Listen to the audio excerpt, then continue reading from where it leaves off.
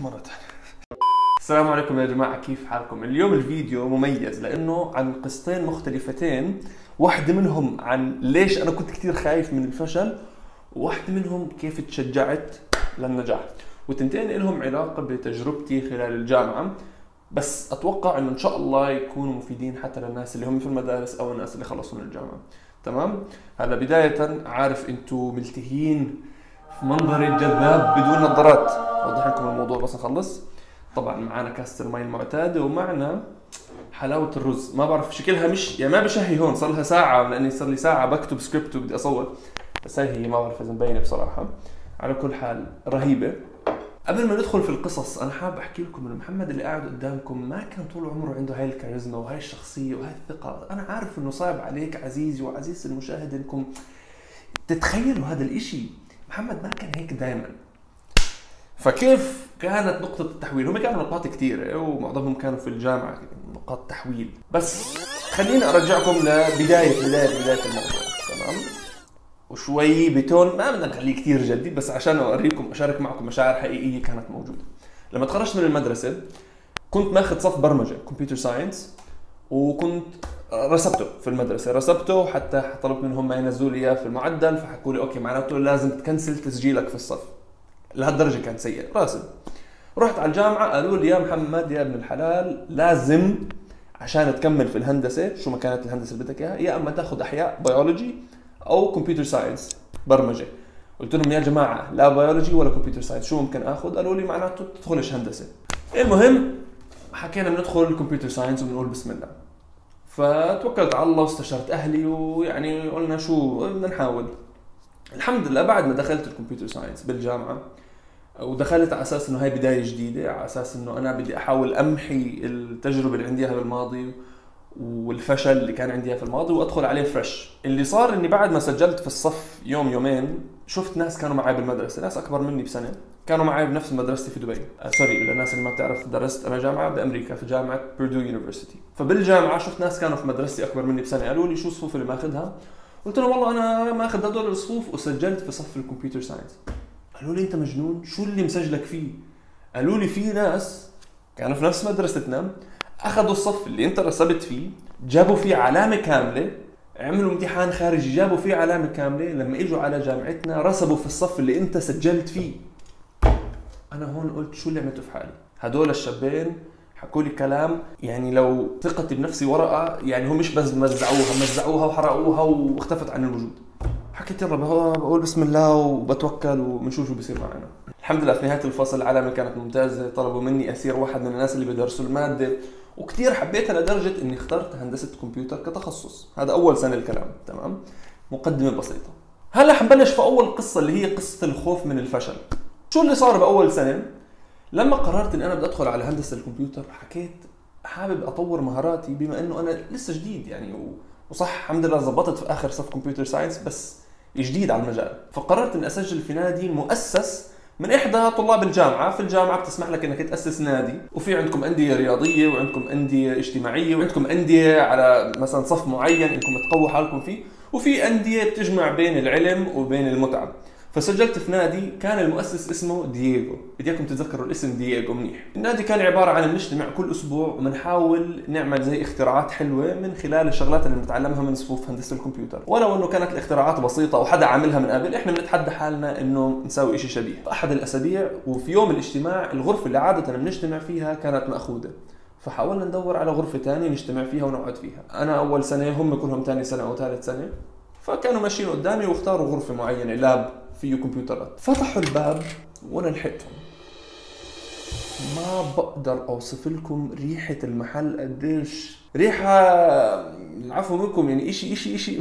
والله ماني قادر أوصفه مش مش قادر أعبر بلساني. ريحة بتقتل. المفاجأة وين كانت؟ إنه هاي الريحة جاية من شخص واحد. الغرفة اللي دخلنا عليها لاب أو مختبر كله كمبيوترات وبس في شخص واحد قاعد في زاوية بعيدة.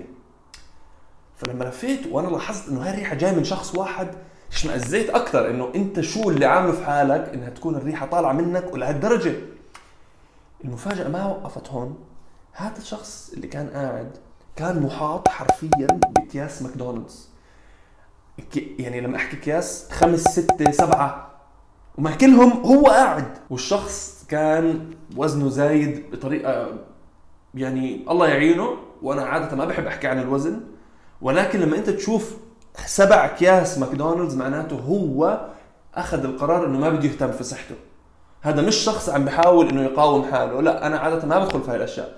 بس الوضع اللي هو فيه ولما أنا شفت كيف لا داير باله على شكله ولا على ريحته ونظافته ولا على صحته قلت لا لازم نجيب هاي النقطة لأنه هو فعلا مش مهتم لأنه هو فعلا سمح لحاله إنه خلص الأمور كلها تفلت في حياته. عم بحاول لما دخلت غرفة النساء عم بحاول أستوعب.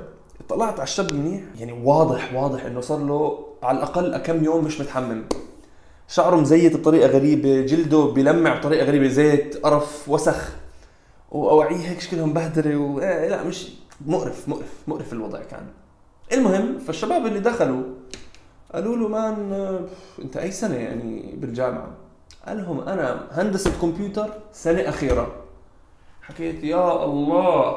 يا الله أنتوا عارفين إيش الموقف؟ أنا كنت في هذيك المرحلة شخص لسه عم بيحاول يبني ثقته خصوصا في موضوع التخصص. شو أكثر شيء صعقني في الموضوع لما هو حكى إنه هو في تخصصنا تخصص هندسة كمبيوتر إنه هذا يجسد قرارات اتخذها في نفس المجال تبعنا وأدت فيه لهي المرحلة. أنا مش قادر أستوعب إنه أنت ممكن توصل هاي المرحلة الدنيئة في تخصصنا. فكان عم بيحكي معنا وبمزح بقول على فكرة يا جماعة يعني لا تفكروا الوضع اللي أنا فيه إنه هذا إشي نادر كل حدا هيك. وبعدين حكى لنا إنه نام في المختبر يومين ثلاثة كأنه. يوميتها أنا طلعت من اجتماعنا من هذا المختبر من اللاب شايف قدامي ما كنت مصدق إنه في شخص ممكن يدخل على تخصص والتخصص اللي أنا اخترته وينتهي فيه المطاف هيك بهذه القذارة و... وصحته وشكله ختياره وشعره. أنا ما حكيت عن شعره شعره خفيف و... إيش هاد؟ إيش اللي عامله في حاله هذا الزلمة؟ فيوميتها لما طلعت قلت أنا لازم اقطع لحالي وعد. وهذا الوعد شو ما يصير ما حخلفه. القاعدة الأولى اللي ما حخلفها هي قاعدة الصحة. شو ما صار في بالجامعة بهداك اليوم أنا قطعت على حالي وعد إنه ما أسمح لصحتي تتدهور زي ما هذا عمل في حاله. في فرق بين اللي بده يستمتع بالحياة وكل فترة فترة يأكل ماكدونالدز عادي ويأكل حلويات. هيني أنا حرفيا عم بصور قدامكم وفي حلو قدامي هذا ثاني صحن على فكرة مش ثاني صحن. بس إنه الفكرة كلها ما عندي مشكلة الواحد يستمتع بس إنه الواحد يبالغ بالطريقة هذيك وينسى حاله ابدا. القاعدة الثانية النظافة الشخصية والترتيب وإنه الواحد يهتم في منظره في شكله. إذا مش عشان أي حدا عشانك وحاحط لكم صورة كيف كنت أول ما دخلت الجامعة وكيف لما قربت على التخريج كيف كان شكلي. أنا اشتغلت على حالي وأنا فخور بهذا الإشي لأنه كله اجى من لما شفت هذا الشاب. القاعدة الثالثة النوم يوميتها أنا قطعت على حالي وعد إنه ما اضلني صاحي 24 ساعة. كل يوم إلا أنام. وفعلا والحمد لله لما تخرجت ما كان في أي ليلة في الجامعة إلا أنا نمت فيها. إن شاء الله يكون أصعب فاينل عندي حنام قبلي إن شيء الله يكون عندي مشروع تسليم ضخم حنام قبلي لازم أنام. ما حصير زي هذا الشاب القاعده الرابعة. أي شخص بيسألني عن تخصصي أو عن الجامعة أو أي شيء ثاني ما حأعطيه صورة سوداء أو صورة بتخليه يكره حاله ويكره المحل اللي هو فيه. لأنه هذا الشخص بسبب شكله فعلا فعلا كان ممكن يصير لي شيء فعشان هيك أي حد يسألني عن الجامعة بعطيه إجابة صريحة. ما بدي أخليه يندم على الساعة اللي هو كان موجود فيها. إذا هو فعلا شغوف بهاي المادة أو هذا التخصص احاول اشجعه يدخل ويكمل. وهدول هم من القواعد الأساسية. طبعا قاعدة الدين موجودة بس هذا ما أثر فيه. يعني هذا هذا كله على بعضه. هذا انسوا البني آدم. فما كان له تأثير إنه والله بدي احافظ على دين الحمد لله هذا موجود. بس يا الله يا جماعة الخير زي الكابوس. تعرفوا الريحة قد ما كانت سيئة. أنا بدي أركز على موضوع الريحة لأنه بحياتي بحياتي وربنا شاهد ما شميت ريحة طالعة من شخص واحد بهالسوء والقذارة هاي. لدرجة إنه هاي مش ريحة سيئة بتعلق في الأواعي. مثلا لو رحتوا على مطعم أو مطبخ ممكن في ريحة تعلق. اواعيكم تغيروا الأواعي وخلص انتهى. لا. ريحه بتعلق في مناخيركم. إن شاء الله تبدل أواعيك. إن شاء الله تسافر وتروح. معلقه هون. معلقه يا عفو الله. إشي مقرف. مقرف مقرف مقرف. وهذا الشخص اللي ريحته كانت بتقرف لما شفته تعمقت في أفكاري. واحدة من الشغلات الحمد لله إني ما عملتها إني ما دخلت في التفكير الزائد، اللي راح عليه فيديو التفكير الزائد ضروري إنك تشوفه، حيكون ال link محل هون، بس الحمد لله إني أنا طلعت من هاي التجربة مع هذا الشخص النتن بالقواعد اللي أنا حكيت لكم عنها لأنه الحمد لله كانت من الشغلات اللي كثير ساعدتني في هذيك السنة. باختصار ما خليت هذا الشخص الفاشل إنه يأثر علي. حكيت okay خليني أتعلم منه وأحاول أنساه بقدر الإمكان. آه بس الريحة الريحة الريحة الريحة. هاي هي أول قصة. القصة اللي خلتني أكره إني أفشل في المجال تبعي. وقد ما أنا كرهت المنظر سبحان الله ربنا سخر لي مثال حي عن شو معنات الفشل وشو معنات الخسارة. سخره قدامي وله ريحة وله شكل وله منظر. في قصة تانية إن شاء الله يكون طعمها أحلى وريحتها أحلى وصورتها أحلى. خليني أبل ريقي بس وأغير طعم تمي. إذا أنتم قدامكم كاسة شاي أو قهوة اشربوا خذوا break سريعه بس. يا الله. بدنا ندخل على الجزء الحلو من الفيديو. تمام. هلا الاكل هون استعجلت متحمس أدخل على الفيديو مرة ثانية هلا بندخل على القصة الإيجابية اللي هي قصة دييغو دييغو إذا بتتذكروا حكيت عنه ببداية الفيديو اللي هو مؤسس نادي هندسة الكمبيوتر اللي أنا انضميت له. بدي أعطيكم خلفية عن دييغو عشان تحسوا أنتم فعلا بقوة القصة تبعته. دييغو هو شاب مكسيكي. وبالفترة اللي أنا وياه كنا بندرس فيها كانت الأمور شوي صعبة لأي شخص مكسيكي عايش في أمريكا. صعوبات سياسية مش حابب أدخل فيها ولكن هو كشخص مكسيكي في هذاك الوقت كانت الأمور صعبة بالنسبة له إنه يكون موجود في أمريكا وإنه يتوظف في أمريكا كمان. ودييغو كان طالب أكبر مني بسنة. اللي صار إنه أنا أصحابي في يوم من الأيام حكوا لي تعال بدنا نعرفك على شاب متميز متفوق اسمه دييغو. قلت لهم okay تمام. تعرفنا عليه كيفك دييغو؟ الحمد لله تمام. اللي أنا اكتشفته إنه هذا دييغو اللي أكبر مني بسنة واللي كان في هندسة الكمبيوتر كان معدله أربعة. أربعة من أربعة. 4.0 بالنظام الأمريكي يعني معناته علامته كاملة في الجامعة. يا جماعة okay محمد فنان okay وأنا ما شاء الله دريس بس بحياتي ما تخيلت إنه في حدا ممكن يجيب أربعة من أربعة في الجامعة. يعني هذا كان شغلة بتسمعها من بعيد مين مين اللي بيجيب أربعة من أربعة؟ في شخص قدامي كان عنده هاي العلامة في التخصص تبعي. فوأنا بحكي مع دييغو بتعرفوا شو اكتشفت؟ إنه بعد أول سنة إله كطالب مكسيكي عايش في أمريكا اتوظف في مايكروسوفت في الصيف. أنتوا عارفين إيش يعني دخل على مايكروسوفت؟ مايكروسوفت بالنسبة لنا إحنا مهندسين الكمبيوتر هي زي برشلونة أو ريال مدريد. يعني top top top top top top top top. وهو دخل عليهم بعد اول سنة له بعد ما جاب ال 4.0 أو الأربعة من أربعة. فلما طلعت عليه قلت هذا شاب تارك أهله جاي على بلد الأمور شوي يعني صعبة بالنسبة له داخل على تخصص صعب وراح على مايكروسوفت. فقلت wow أنا لازم أعرف عن الشاب هذا أكثر المهم قعدت معه تعرفت عليه أكثر صرت أشوفه لما نتغدى بالجامعة كان عندنا food courts زي قاعات طعام يعني موزعين في ال campus أو في الحرم الجامعي. فكنت أشوفه كل فترة وفترة. لما تعرفت عليه أكثر اكتشفت إنه هو بيروح على الجيم بدري الصبح. اكتشفت إنه بياكل أكل صحي. اكتشفت إنه بيدير باله على حاله ما شاء الله شاب حليوة وسيم. والشاب مركز. قلت okay أنا بدي اصير زيه. أنا بدي اصير أحسن من دييغو هذا. فصرت أروح على الجيم بدري. أكون داخل وعيني بيحرقوني وشكلي طالع من التخت حرفيا. أطلع دييغو يكون هو already مخلص التمرين تبعه. الصبح هذا الحكي أول ما ندخل هو يكون مخلص. عنده ابتسامة ما شاء الله صحته ممتازة معضل. شعره perfect بآخر التمرين. بقول هذا من وين جاي؟ هذا سوبرمان حرفيا. بعدين أشوفه مثلا في قاعة الأكل. نقعد مع بعض أطلع على صحني. صحني بكون صحي بس بطلع على صحنه بقول كيف دائما صحنك شكله صحي أكثر من صحني؟ amazing هذا دييغو فنان. أكله سريع ما بيضيع وقت بياكل بدردش معك بس يخلص بقوم عنده أشغاله عنده حركاته. طول اليوم شكله مرتب شكله دار باله على حاله. amazing سبحان الله بعد أول سنة دييغو قرر إنه يروح على جامعة مختلفة تماما جامعة ثانية ممتازة. كمل فيها كل سنة على حسب علمي جاب 4.0 أو 4 من 4 صيف السنة الثانية أظن توظف مع جوجل. يعني إذا حكينا مايكروسوفت هم ريال مدريد جوجل هم برشلونة بالنسبة لنا مهندسين الكمبيوتر. ولما تخرج أظن اشتغل مع فريق ثاني في جوجل كمان. ولما تخرج خطب بنت كمان. يعني حياته سبحان الله amazing ولا إذا حياته amazing شوفوا الإنستغرام تبعه. سبحان الله عليم الله الصور في الإنستغرام عنده. زي صور بتشوفوها في المجلات هدول العائلات اللي بيكونوا عاملين modeling على حياة سعيدة. بس هو هيك ولكن الشاب تعب تعب مزبوط وأنا شفت هذا الإشي. والحلو في دييغو إنه ما كان شايف حاله ما كان مغرور. أنا وجودي حواليه كنت دائما أحس محمد أنت بتقدر تكون أحسن.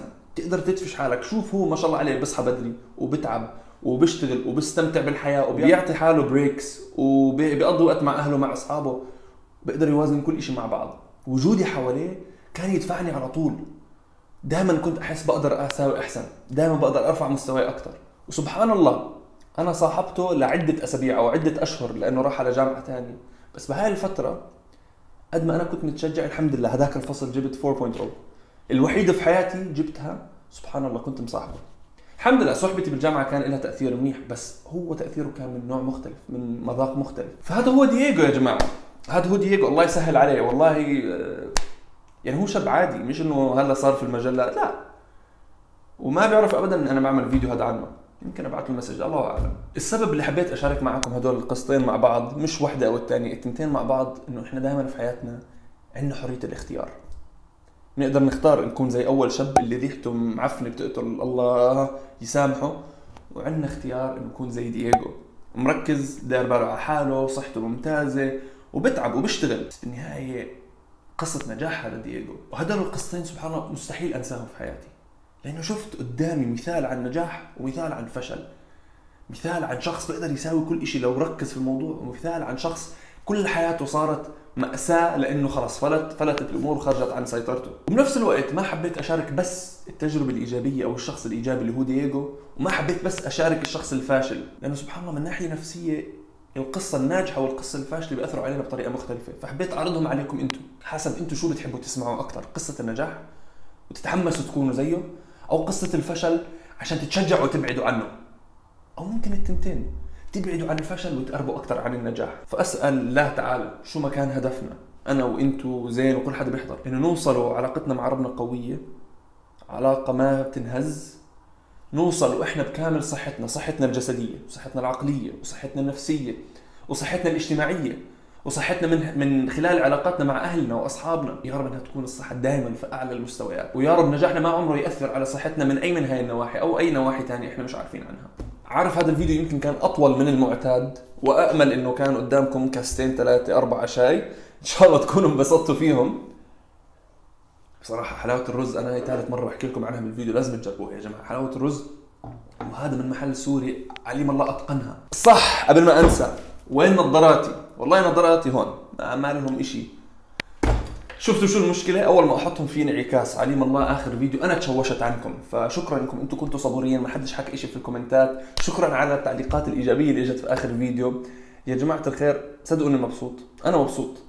صحيت اليوم مبسوط. يعني مش كثير كنت مهتم على موضوع الريفيوز قد ما أنا كنت مهتم على أنتم الناس اللي بتحضروا. ولو كنتوا قلال هل تجربتكم كانت ممتعة؟ هل استمتعتوا؟ هل حسيتوا والله هذا هذا نوع الفيديوهات اللي بدنا محمد يضلوا فيها؟ وأظن الإجابة كانت آه. وعشان هيك حكيت تعرف أقل شيء أنا ممكن أعمله إنه أساعدكم إنه هاي التجربة تكون أحلى. خليني أشيل نظاراتي تستمتعوا بالجمال الطبيعي يا جماعة. تتفادوا هذا ال reflection تتفادوا انعكاس الضوء على النظارات هذا الملهي. خليكم تركزوا في عيوني. دوبوا في عيوني خلص بكفي بكفي. آه على فكرة آه هذا تليفوني اللي عادة بصور فيه هذا تليفون ثاني فبدنا نشوف الجودة كمان من هاي الناحية إذا أحسن. إن شاء الله في تغيير بدي اعمله اللي هو تغيير المايك.